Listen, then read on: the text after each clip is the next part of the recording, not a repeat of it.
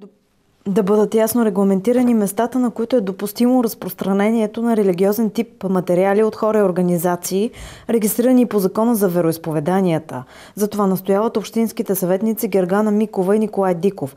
Те са вносители на предложение до Общинския съвет за промяна в наредбата за обществения ред в общината. Общинските съветници са провокирани от все повече сигнали за това, че деца и младежи са притеснявани по улиците от различни емисари, които предлагат безплатна информация със съмнителни съмнителен характер, която в определена възраст би могла да бъде опасна и подбуждаща опасни действия. Това, както се досещате, не е само цел и е наложено от десетките сигнали, които получавахме от старозагорци, за това, че биват не само спирани по улиците, това за никой не е изненада, но напоследък много често се случва, когато хората се приберат в къщи, да им звънят по вратата и обикновенно под формата предлагаме безплатно еди какво си, да нарушават мира, който човек си е установил след като се прибере в къщи и си затвори вратата. Така че това е единствената и основна причина, поради която а, с колегата Диков се а, опитахме да въведем някакъв а, ред. До този момент не съм чула глас против и се радвам за това, защото под една или друга а, форма а, всички хора в един момент са страдали от а, подобно посегателство върху личното пространство, защото това не е нищо друго. И се надявам, че Общинския съвет по същия начин ще приеме нашия опит да осигурим спокойствието на старозагорци.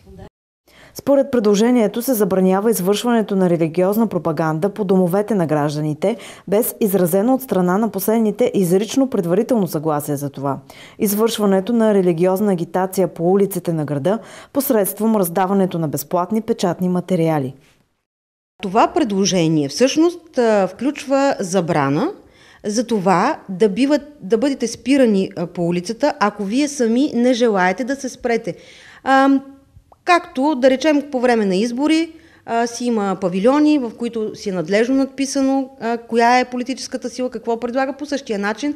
Това да бъде варианта, в който човек сам да направи избора си дали да изслуша еди какво си или не. За жалост, напоследък все по-често се случва а, подобни хора да предлагат различни псевдолечения. Знаете, че когато човек е разстроен или е в а, така има нужда от някаква подкрепа, много лесно би могъл да стане жертва на какво ли не. Кой ще контролира изпълнението на наредбата? А, общинска полиция, а, всички останали а, органи на реда, които могат а, да контролират а, това, нашето спокойствие. А, хората могат да подават а, сигнали на телефон 112 и в полицията и на горещия телефон на Община Стара Загора.